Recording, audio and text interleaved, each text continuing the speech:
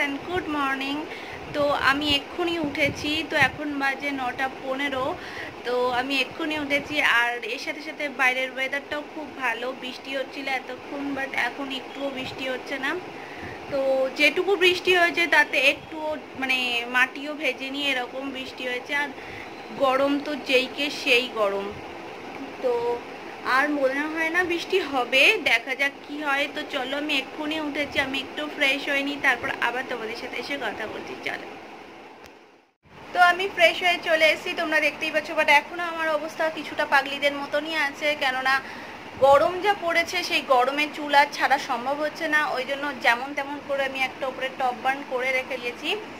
তো এখন আমি যাব নিচে। তাতেই তোমাদের একটা সুখবর দিয়ে দিই, সেটা হলো আমি এক্ষুনি শুনলাম গ্যাস এসে গেছে।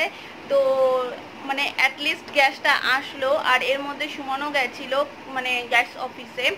তো ওখান থেকে বলছে যে গ্যাসের প্রবলেম হচ্ছে, এখন সার্ভিসে প্রচুর প্রবলেম হচ্ছে, সবারই এরকম নাকি। আর একটু দেরি হচ্ছে গ্যাস দিতে, তো আমাদের দুদিনের মধ্যে চলে আসবে, তো দুদিন পরেই আজকে চলে এসছে। তো খুব খুশি আমি, কেননা তোমরা দেখেছিলে গ্যাসের জন্য প্রবলেম হচ্ছিল আর ইন্ডাকশনে রান্না হচ্ছিল। ইন্ডাকশনে রান্না হওয়ার একটা যেমন সুবিধা আছে যে মানে ঝটপট রান্না হয়ে যায়, আর একটা অসুবিধাও রয়েছে সেটা হলো আমাদের সব সময় চব্বিশ ঘন্টাই বলতে পারো আমাদের ফ্রিজটা চলে, আর মাইক্রোওভেন তো চলতেই আছে, কেননা যখন তখন যে যেটাই পারে সেটা টুক করে মাইক্রোওভেনে দিয়েই গরমটা করে নেয়। তো মাইক্রোওভেন ফ্রিজ তারপরে ইন্ডাকশান আর সাথে তো পাম্প চলে এসি চলে, এই সমস্ততে আগের দিন হয়েছিল কি ফিউজ উড়ে গেছিল। তো সেটা ঠিক করতে গিয়ে কতক্ষণ মানে প্রায় পনেরো কুড়ি মিনিট কি তার বেশি। সেটা মানে ঠিকঠাক করে উঠতে উঠতেই মানে সময় লেগে গেছে। তারও বেশি বোধ হয় প্রায় এক ঘণ্টা মতন টাইম লেগেছে। সমস্ত কিছু ঠিক হয়ে কারেন্ট আসতে। তো একটা জিনিস ভয় থাকে কি কারেন্ট এক ঘণ্টা না থাকলেও একটু কষ্ট করে ম্যানেজ করে নেওয়া যায়। কিন্তু জিনিসগুলো যদি খারাপ হয়ে যায়, এই মানে সিচুয়েশানে এই লকডাউনের মধ্যে সেটাকে ঠিক করাটা পসিবল না। আর যে জিনিসটা থাকে না তখন সেই জিনিসটারই খুব চাহিদা হয়, যেমন গ্যাস ছিল না। তো গ্যাসটার না থাকাতে বোঝা যাচ্ছে যে কতটা কষ্ট হয় গ্যাস না থাকলে। আর যখন আমাদের অন্য কোনো কিছু খারাপ হয়, তখন সেটাতে বোঝা যায় কতটা কষ্ট। তো যেটাই থাকে না সেটাতেই কষ্ট হয়। বাজে। তো সবাই উঠে গেছে, এখন আমি যাব নিচে। আর দেখি আজকে মেনু কি হয় মানে বাপি এক্ষুনি বাজারে যাবে। তো দেখি কি মেনু হয়। আর আজকে আমার খুব মাটন খেতে ইচ্ছা করছে, জানি না হবে কি না তো এতদিন গ্যাস ছিল না, আমি আর ওই জন্য কিছু বলিনি। তো দেখা যাক আমি নিজে গিয়ে বলি যে মাটন খেতে ইচ্ছা করছে আজকে মাটন হয় কি না। আর এতদিন খেতে মানে ইচ্ছা করলেও বলতে পারছিলাম না এই কারণেই। কেননা শুনছিলাম করোনা ভাইরাস নাকি মাটনেও ধরা পড়েছে, তো মানে এই ভাইরাসটা আমাদের পাগল করে দেবে, না খাইয়ে মেরে দেবে, প্রায় বললেই চলে। তো দেখা যাক, নিচে যাই বলি কি হয়। আর সঙ্গে থাকো, দেখতে থাকো। আর আর একটা কথা, যেটা হলো, তোমরা হয়তো ভাবছ, আমি কোন জায়গায় এসে ভিডিওটা শ্যুট করছি। মোস্ট অফ দ্য টাইম আমি ওই সাইডটাতে ভিডিও করি। তো আজকে আমি যেই সাইডটাতে ভিডিও করছি, সেটা হলো এই যে জানলার দিকটা। আর জানলাটা দেওয়া রয়েছে, বৃষ্টি হচ্ছিল তোমাদেরকে আমি বললামই। তো বৃষ্টি হচ্ছিল, ওই জন্য জানলা দিয়ে রেখেছি। আর এই সাইডটাতে আমি এসে ভিডিওটা শ্যুট করছি। তো চলো এখন আমি যাই নিচে দেখি পরিস্থিতি কেমন আছে। তো সঙ্গে থাকো, দেখতে থাকো। চলো। তো কি গরম, আমি এতক্ষণ নিচে ছিলাম। তোমরা দেখলে আমি ফার্স্ট নিচে গিয়ে টিফিন করলাম। তো টিফিন করার পর আমি বাপিকে বলব এই সবে এরকম যে আজকে কি মাটন হবে, আমার খুব খেতে ইচ্ছা করছে। তো তার আগেই শুনি যে ওরা প্ল্যান করেই নিয়েছে আজকে মাটন আনার। কেননা আজকে কাকাইরও খুব খেতে ইচ্ছা করছে, আর বাড়ির প্রত্যেকে নাকি এটা নিয়েই নিচে বসে আলোচনা করছিল যে আজকে মাটন হবে। তো কাকাই আজকে বলল, তো চলো আজকে আমি মাটন নিয়ে আসি। আর এই হিসেবে মানে আজকে মাটনের প্রোগ্রামটা একদম ফাইনাল আর এটা খুব সুন্দর একটা কোইন্সিডেন্স যে আমি ওপরে বসে বসে ভাবছিলাম, আর ওরাও নিচে বসে বসে ভাবছিল। তো যাই হোক ফাইনালি মাটনটা হচ্ছে আজকে। আর একটু আগেই আমার হাজব্যান্ড মানে সুমন গিয়ে মাটনটা নিয়েও চলে এসছে। তো প্রিপারেশনও আমি তোমাদের দেখালাম যে কি কি হচ্ছে নিচে। আর এখন আমি এসেছি শাওয়ার নিতে, তো আমি শাওয়ার নিয়ে ঝটপট আবার নিচে গিয়ে তোমাদের নেক্সট প্রিপারেশনগুলো দেখিয়ে দেবো। তো চলো দেরি না করে আমি ঝটপট গিয়ে শাওয়ারটা নিয়ে নিই। তো আমার শাওয়ার নেওয়া কমপ্লিট হয়ে গেছে, তোমরা দেখতেই পাচ্ছ। আর এর আগে তোমরা দেখেছিলে যে আমি সমস্ত কিছু কেটে কুটে দিয়ে এসে মামুনির রান্না স্টার্ট করে দিয়েছে। তো এখন ঝটপট চলো, নিচে গিয়ে দেখে নিই যে মামুনির রান্না কত দূর হয়েছে। চলো।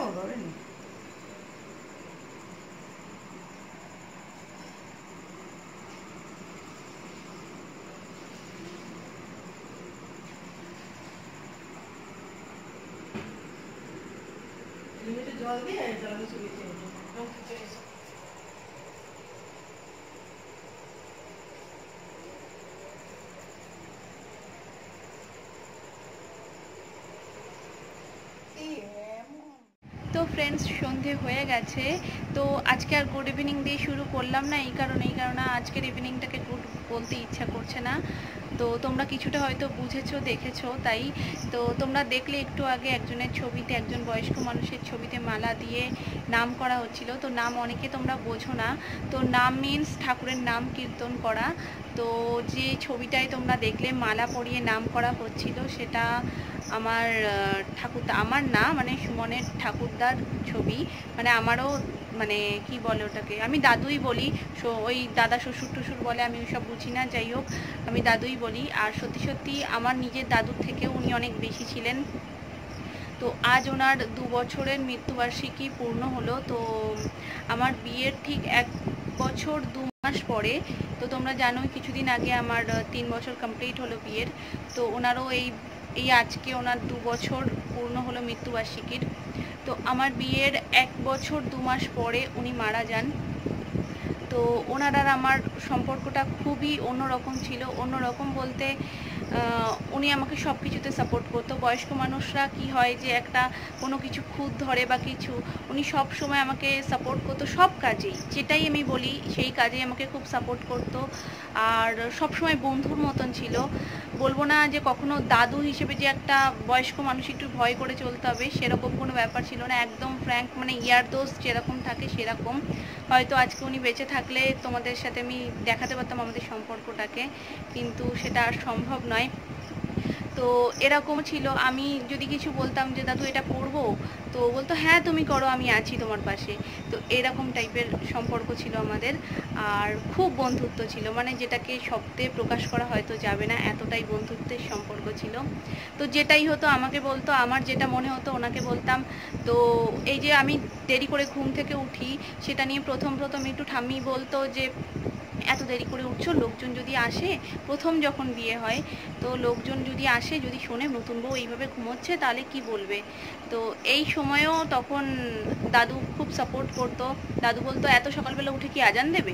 তো এত সকালে ওঠার কোনো মানে হয় না। উঠলে আমি বলে দেবো ওখানে যা বলার। তো আমার যখন পাকা কথা হয় তো পাখা কথার সময়ও সবাই যখন এসছিল, আমার বাড়ির লোক, তো আমার বাড়ির লোক বলেছিল, ওর একটু ঘুম থেকে উঠতে কিন্তু লেট হয়, একটু আপনারা বুঝিয়ে সুঝিয়ে নেবেন। তো তখনও দাদু খুব সাপোর্টে বলেছিল যে, কোনো ওঠার তারা নেই, যখন ওর ইচ্ছা তখন উঠুক, কোনো অসুবিধা নেই। তো এরকম একটা সাপোর্টিভ মানুষকে হারিয়ে ফেললে সত্যিই খুব কষ্ট হয়, সত্যিই খুব দুঃখ হয়। তো আমার মুখটা দেখে তোমরা বুঝতে পারছ, আমার মনটা খুব একটা ভালো নেই। শুধু যেটুকু তোমাদেরকে বলার সেটুকুই বললাম, আর মানে তার সম্পর্কে বলছি না, বলতে গেলে অনেক কথা বলতে হবে, তোমরা হয়তো বোর হয়ে যাবে। বাট সে আমার মনের এমন একটা জায়গায় রয়েছে, তার ছবি দেখলে ও এখন আমার আবার চোখ থেকে জল বেরিয়ে যায়। তো যাই হোক, আমি সেই টপিকটাকে এখন ছাড়তে চাই। আর একটা জিনিস তোমরা হয়তো মিসআন্ডারস্ট্যান্ড করতে পারো, যে আজকে এমন একটা দিনে তোমরা কেন মানে এত সুন্দর খাওয়া দাওয়া করলে। তো আজকে হিসাব মতন ডেট ওয়াইজ আজকে দাদুর মানে মৃত্যুবার্ষিকী নয়। তো দাদু মারা গেছেন জুনের এগারো তারিখে আর আজকে জুনের দশ তারিখ। তো এগারো তারিখে উনি মারা গেছেন, আমরা ভেবেছিলাম কালকে ওনার মৃত্যুবার্ষিকী মানে যেটা ডেট ওয়াইজ পড়ে। কিন্তু আজকেই বাজার টাজার হয়ে যাওয়ার পর ঠাম্মি বলছে যে, কালকে তো এরকম মৃত্যুবার্ষিকী, তো সমস্ত কিছু করতে হবে, সেটা নিয়ে আলোচনা করতে করতে। যখন সে তিথি দেখে, তো তিথি অনুযায়ী আজকেই পড়েছে তার মৃত্যুবার্ষিকী। তো তখন অলরেডি বাজার হয়ে গেছে, সেই জন্য আর কিছু করা সম্ভব হয়নি। আর অলরেডি রান্নাও বসে গেছে তখন। তো তার জন্য কিছু করাটা সম্ভব হয়নি। আর আমি মনে করি রান্না বান্না খাওয়া কমিয়ে দিয়ে কিংবা রান্নাবান্না নিরামিষ খেয়ে কোনো শোক কোনো ভালোবাসা প্রকাশ হয় না। ভালোবাসা মনের থাকে আর যেটা মন থেকে মনের একটা টান। হ্যাঁ তোমরা এটা আগের বলছি তোমাদেরকে। তো ওখানে কোল্ড ড্রিঙ্কসের একটা বোতল ছিল। আর ওর সাথে দইয়ের দই ছিল। তো কোল্ড ড্রিঙ্কস আর দই দাদু খুব ভালো খেত মানে ভীষণ ভালো খেত যাকে বলে। তো আমি যদি, আমি একটু সব কিছুতেই চিনি কম দিই। মানে কোনো রসনা বলো, কোনো অন্য কিছু যদি ড্রিঙ্ক কোনো কিছু বানাই, তাতে আমি একটু চিনি কম দিই আর বিশেষ করে তার সুগার ছিল বলে আমি একটু কম দিয়ে করতাম। তো এমনও ধরো দইয়ের ঘোল বা কিছু করে দিয়েছি, চিনি কম দিই। আমার খেতে ইচ্ছা করছে না। ঠিক চোখ মুখ এরম কাজু মাজু করে একদম ছোট বাচ্চাদের মতন বলবে, আমার খেতে ইচ্ছা করছে না, কেননা তুমি চিনি বড্ড কম দাও। তো এই যে আমি তাকে একদম বাচ্চার মতন শাসন করতাম, তো এই জিনিসটাকে খুব মিস করি। আর এর সাথে সাথে কোল্ড ড্রিঙ্কসটা সে এত ভালো খেত যদি কোনো দিন আমার খেতে ইচ্ছা করছে, আর সেদিনকে ধরো সুমন নিয়ে আসলো অনেক রাত করে কোল্ড ড্রিঙ্কস দাদু ততক্ষণে শুয়ে পড়েছে, তো মশারির মধ্যে উঠে বসে বলবে, আমার কোল্ড ড্রিঙ্কসটা কই? ঠিক যেন একটা ছোট্ট বাচ্চা যেমন হয় ঠিক সেরকম। তো ওই জন্য সুমন একটু আগেই গিয়ে কোল্ড ড্রিঙ্কস দই এগুলো এনে দিয়েছে, তো দাদুর সামনে রাখার জন্য। আর মিষ্টিও সে খুব খেতে পছন্দ করতাম এক্ষুনি বললাম তোমাদেরকে। তো কিন্তু তার সুগার ছিল বলে তাকে একটু কম কম দেওয়া হতো। তো যাই হোক বুঝতেই পারছ, আমি একটু ইমোশনাল হয়ে যাচ্ছি। তো ছাড়ো টপিকটা আর আমি কিছুক্ষণ একটু ফ্রেশ হয়ে নিই। তারপর আবার তোমাদের সাথে কথা বলব, চলো। রাত হয়ে গেছে আর সন্ধ্যের পরে আমি তোমাদের সাথে আর কথা বলিনি। সন্ধ্যাবেলা আমি দাদুকে নিয়ে অনেক কথা তোমাদের সাথে শেয়ার করেছি, তো সেগুলো আমার মনের কথা ছিল। আর বুঝতেই পারছ একটা ইমোশনাল জায়গা। তো যে চলে যায় তো চলেই যায় সেটা আর ফিরে আসে না। কিন্তু দাদুর অনেক সুন্দর স্মৃতি আমার সাথে আছে। আর খুব ভালো একটা বন্ধুকে হারিয়েছি। যাই হোক, বয়স হলে সবাই কেই একদিন একদিন ছেড়ে যেতে হবে। আর তোমাদের বলা হয়নি দাদুর এজ কত ছিল? সেভেন্টি এইট ছিল দাদুর এজ আর তো যাই হোক, আমি মনে করি সে যেখানেই আছে সুস্থ থাক, ভালো থাক, আর আমাদেরকে আশীর্বাদ করুক সারা জীবন, এটাই যথেষ্ট। আর এছাড়াও সন্ধেবেলায় কোনো টিফিন খাওয়া হয়নি। তো টিফিন যেহেতু করা হয়নি, ওই জন্য আর তোমাদের সাথে আলাদা করে কথাও বলা হয়নি আমার। তো আজ যেহেতু দুপুরবেলা রিচ খাবার খেয়েছিলাম, তো ওই জন্য আর সন্ধ্যাবেলা খিদেও পাইনি। তার জন্য কোনো টিফিনও করিনি। আছে রাত আর অলরেডি আমার ডিনার করা কমপ্লিট তো যাই হোক, এখন ঘুমটাও খুব জোরালোভাবে পেয়েছে, কেননা এমনি মনটা খারাপ ছিল। আর বোঝোই যে পুরনো কথা মনে পড়ে গেলে চোখের জল তো বেরোয়, এটা মাস্ট তো সেই হিসেবে প্রচণ্ড ঘুম পাচ্ছে, চোখ একদম বন্ধ হয়ে আসছে, পারলে এক্ষুনি ঘুমিয়ে পড়ি। তো যাই হোক, এখানেই আমি আমার ব্লগটাকে এন্ড করে দিচ্ছি। সাথে সাথে তোমরা আমার ভিডিওটা যদি ভালো লাগে, একটা ছোট লাইক করে দিয়ে যেও। আর আমার চ্যানেলটাকে সাবস্ক্রাইব করতে একদম ভুল করো না। তো চলো, টাটা, আবার দেখাবে নেক্সট ভিডিওতে